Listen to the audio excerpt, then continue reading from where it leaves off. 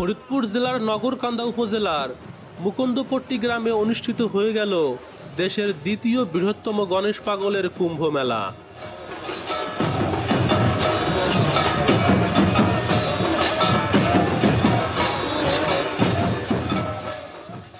বাংলা বিশে জ্যৈষ্ঠ দুই দিনব্যাপী পাগলের মেলাটি অনুষ্ঠিত হয়েছে।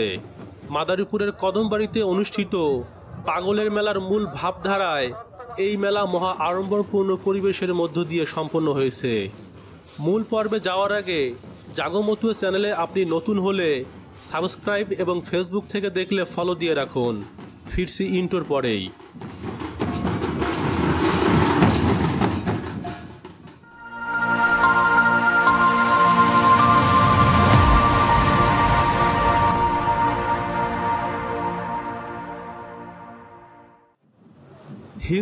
অধ্যুষিত মুকুন্দপট্টি গ্রামটি ফরিদপুর জেলার নগরকান্দা উপজেলায় অবস্থিত। প্রায় লক্ষাধিক ভক্তদের আগমনে মেলার বিশেষত্ব ফুটে ওঠে। বিগত পঁচিশ বছরের বেশি সময় ধরে এই মেলা উদযাপিত হয়ে আসছে। প্রায় শতাধিক মতুয়া দলের আগমন ঘটে এই পাগলের মেলায়। আমার নাম মনোরম বিশ্বাস। আমাদের গ্রামের নাম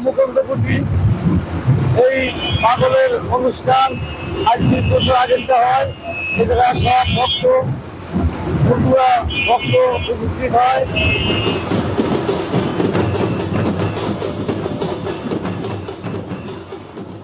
সনাতনী ভাবধারার আবেশে মেলার পরিবেশ আনন্দমুখর হয়ে ওঠে। মেলাটি মহামানব গণেশ পাগলকে কেন্দ্র করে পালিত হয়। শুরুতে এমন জাঁকজমকপূর্ণ ছিল না। প্রথমত অল্প পরিসরে শুরু হলেও মেলাটি বর্তমানে ব্যাপক আকার ধারণ করেছে। ধীরে ধীরে এর ব্যাপ্তি ছড়িয়ে পড়েছে দেশ হতে দেশান্তরে। মহামানব গণেশ পাগলের কৃপা শক্তি এই ভক্তদের প্রতি বর্ষিত হয়েছে। এই মেলায় প্রথম স্বল্প কয়েকজন ভক্ত নিয়ে শুরু হয় আজ থেকে প্রায় পনেরো বিশ বছর ধরে। প্রথম আমরা মন্দিরে গণেশ পাগলের মূর্তিবিহীনভাবে মেলাটি অনুষ্ঠিত করি। আস্তে আস্তে করে প্রসার বৃদ্ধি পায়, লাভ করে। আজ দূর দূরান্ত থেকে বহু ভক্তগণ ছুটে আসে এই মেলায়।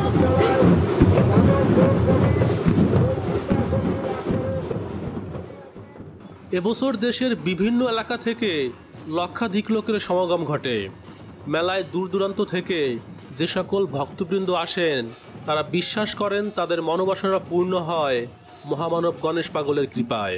অনেকে অনেক কিছু মানুষ সকলে তার পরিপূর্ণ পাগল পূরণ করে এবং এই পাগল তার মনোবাঞ্ছা পূর্ণ করলে তারা মানুষ এবং আমরা চিন্তা করে কানেকশন করে নিজেরা সামনা করে এই অনুষ্ঠান দিলে এই অনুষ্ঠান।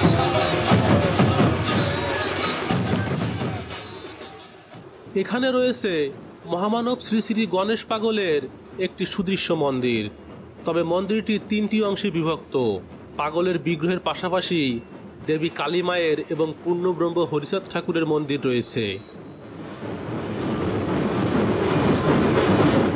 মন্দিরের সম্মুখপানে রয়েছে কীর্তন খোলা, যেখানে প্রতিটি মতুয়া দল বিরতিহীনভাবে ঘণ্টার পর ঘণ্টা মতুয়া মাতামে আবেশিত করে রাখে এই মেলার পরিবেশ।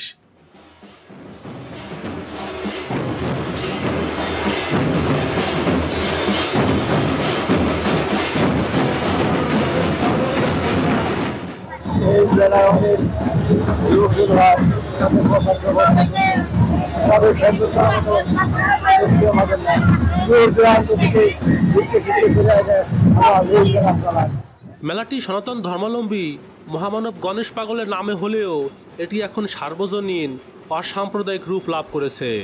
কেননা কোনো মহামানব বা সিদ্ধ পুরুষ কিংবা কোনো পীর দরবেশ সাম্প্রদায়িক হতে পারে না।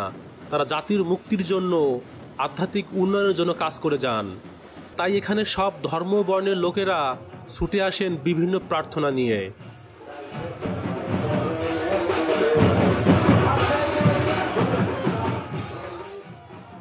মূলত গণেশ পাগলের মূল মেলাটি অনুষ্ঠিত হয় মাদারীপুর জেলার রাজৌর উপজেলার কদমবাড়িতে। সনাতন হিন্দু ধর্ম অনুসারে মেলাটি একটি বিশেষ তিথিকে অবলম্বন করে বাংলার তেরোই জ্যৈষ্ঠ অনুষ্ঠিত হয়। আর এই মেলার অনুকরণে মুকুন্দপট্টি এলাকার ভক্তগণ মূল মেলার এক সপ্তাহ পর, অর্থাৎ বিশ জ্যৈষ্ঠ মেলাটির আয়োজন করে আসছেন বিগত পঁচিশ বছর ধরে। পঁচিশ বছর ধরে মানুষ আসে অনেক লোক হয়। পঞ্চাশ থেকে ষাট মন চাউল খায়।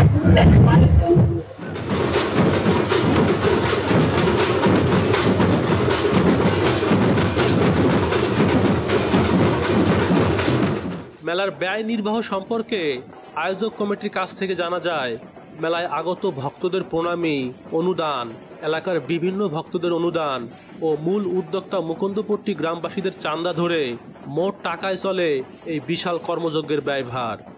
সবার বিশ্বাস, পাগলই সব ব্যবস্থা করে দেন। তা না হলে এত বড় একটি অনুষ্ঠান কোনো প্রকার ঝামেলা ছাড়াই সম্পন্ন করা ছিল অসম্ভব।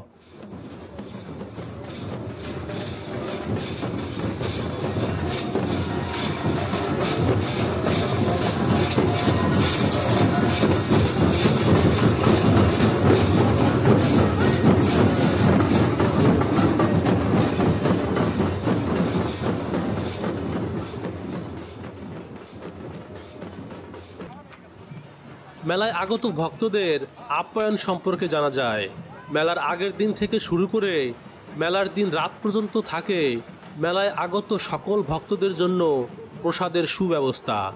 এর মধ্যে রয়েছে চিরা, চিনি, শরবত ও খিচুড়ি প্রসাদ। তেইশ বছর ধরে গণেশ ভবনের মেলা হইতেছে এটা বিশাল মেলা, অনেক আয়োজন। চব্বিশ পঞ্চাশ চাইলেন হয়। মানুষকে সমস্ত মানুষ পাগলের উদ্দেশ্যে এখানে এসে পাগলের মেলা করে এবং বিক্রি করে। মেলা সুষ্ঠুভাবে পরিচালনার জন্য মূল কাজটি করে থাকে গ্রামের যুব সম্প্রদায়। মেলায় আগত ভক্তদের আপ্যায়ন থেকে শুরু করে তাদের সব ধরনের সুবিধা অসুবিধা দেখার জন্য তাদের সদা তৎপর থাকতে দেখা যায়। মেলায় আগত ভক্তদের একটু সেবা করতে পারাতেই যেন তারা তৃপ্ত হন।